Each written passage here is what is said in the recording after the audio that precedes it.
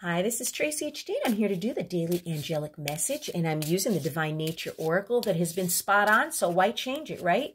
If you'd like to get this amazing deck, click the link in the description box down below. It will take you right to Amazon to purchase it. As I shuffle the deck, I'm asking all light beings, angels, and God, please relay the message I need to share with my viewers the highest good of all. And we have 26. Call on courage.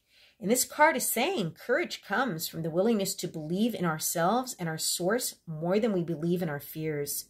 The word courage comes from the root word for heart in French. And you must use this energy center in order to find your way through the brambles and thorns of fear. Now is not the time to weigh your options or calculate your odds of success based on the five senses of reality.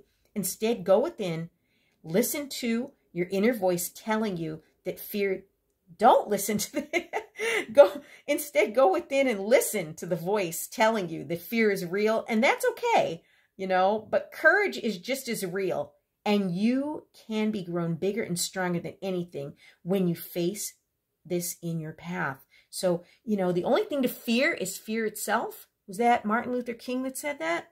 Yes. So now is the time not to you know be fearful you know feel the fear have the courage to do what it is that you need to do and do it anyway.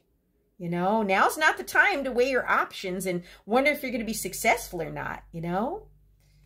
Wow, what a powerful reading today. If you've enjoyed this reading, I would appreciate it if you'd please hit the like button to get these YouTube videos, more exposure here. Uh, tell me down below if this has resonated with you or you're going through something that requires you to be courageous and not allow the fear to hold you back. And above all, subscribe because I will be back with more